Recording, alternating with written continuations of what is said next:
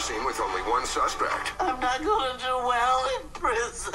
An all-new holiday month followed by the Psych Christmas Spectacular starts Friday at 9, only on USA.